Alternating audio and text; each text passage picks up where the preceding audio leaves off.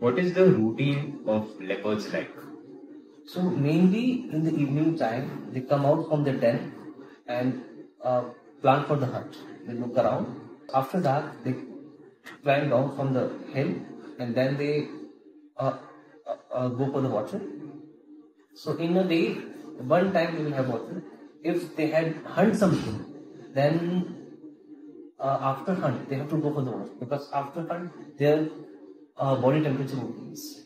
So whole night they will hunt. In the morning before sunrise, they have to reach the hill. Why? Because here leopards are not living in jungle; they are living close to the village. So there is a village and uh, it's leopard area, and there are it's a farmlands. So leopards know after the in the morning after sunrise the human activity will start.